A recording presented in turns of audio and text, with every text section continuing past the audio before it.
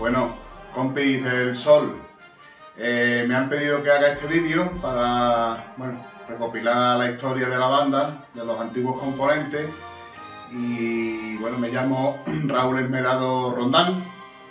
Yo ingresé en la banda del Sol aproximadamente pues, en septiembre de 1983, cuando la banda de las Mercedes, del tiro de línea, que algunos la habréis conocido, otros no, pues tuvo un poquillo, tuvo un problemilla con la hermandad y entonces muchos de los chavales de la banda de las Mercedes pues nos fuimos a la banda del Sol.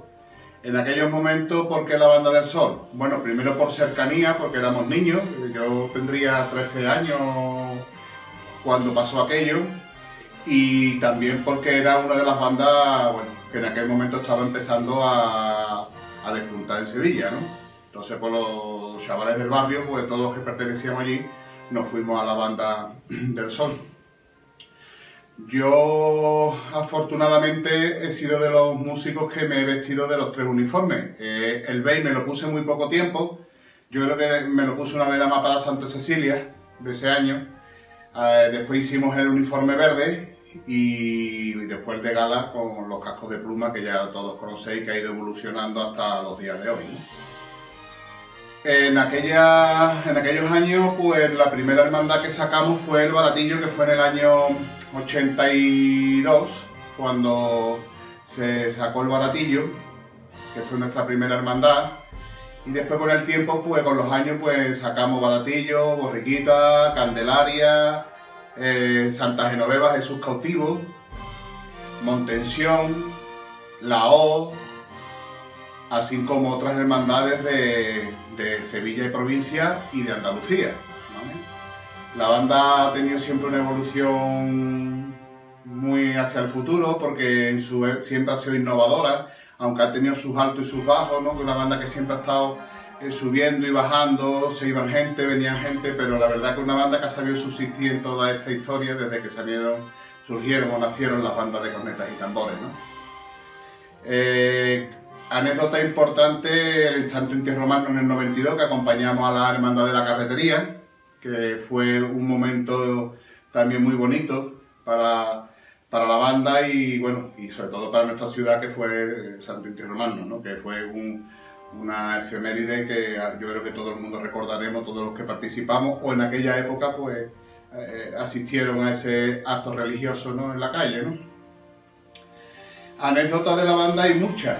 Eh, eh, desde que empezamos a grabar los primeros discos, que éramos todos chavales, que el primero se grabó en el año 85, eh, las primeras lágrimas de San Pedro, de la cual también tengo el orgullo de haber sido de los primeros que subimos arriba, que fue en el año 86, que por ahí hay fotos de periódicos y hay eh, que, datado, ¿no? que se ve que la prensa lo dató en aquella época y, tuvimos la fortuna de subir seis, compañeros, ¿no? que subimos la primera vez a la Girarda a tocar los gozos de la, Inmaculada, ¿no? Ah, y los gozos de la lágrima de San Pedro, perdón, los gozos Inmaculada es posterior, que también los hemos tocado muchísimos años.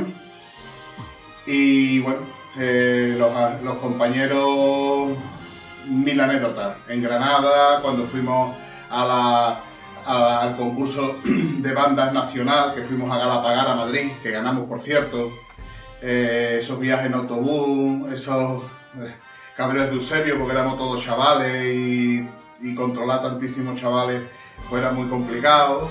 Hemos estado en Zamora, también eh, nos invitaron la Asociación de Cofradías de Zamora a dar un concierto allí en Zamora, que también pudimos enseñar los sones de nuestra banda y de nuestros uniformes de gala en Zamora y maravilloso todo, porque en la banda siempre hemos sido una familia, siempre hemos eh, todos salido juntos y nos hemos llevado magníficamente bien.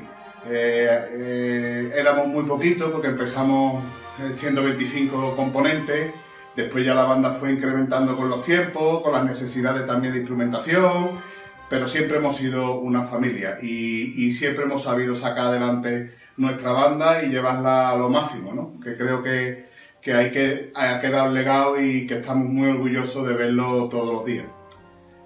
Bueno, que eh, muchos saludos, muchos abrazos y que nos veamos pronto.